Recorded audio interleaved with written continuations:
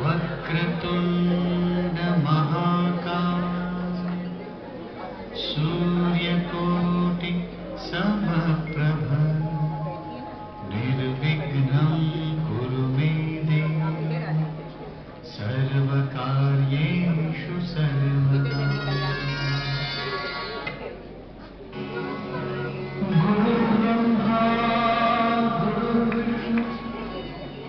गुरुभि तस्मै